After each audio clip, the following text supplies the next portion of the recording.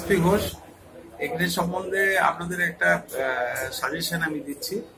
সেটা হচ্ছে, এখানে যদি হয়, তাহলে বাড়িতে কোনো রকম সেলফ মেডিকেশন করবেন না। কোনো ডার্মাটোলজিস্টের কাছে যাবেন। কারণ হচ্ছে স্কার একটা সমস্যা। স্কার হলে এই স্কার কোনোদিনই সারতে চায় না। পরে আর কি, মেয়েদের ক্ষেত্রে আরও সমস্যাগুলো আরও গুরুতর হয়। তার জন্য নিজে সেলফ মেডিকেশন করবেন না বা দোকান থেকে কোনো জিনিস নিয়ে লাগাবেন না। কোনো রেজিস্টার্ড মেডিকেল প্র্যাকটিশনার বা ডার্মাটোলজিস্টের কাছে যাবেন। ওনার সাজেশন মতো ওষুধ লাগাবেন। আপনার স্কার নিশ্চয়ই সেরবে থ্যাংক ইউ ভেরি মাচ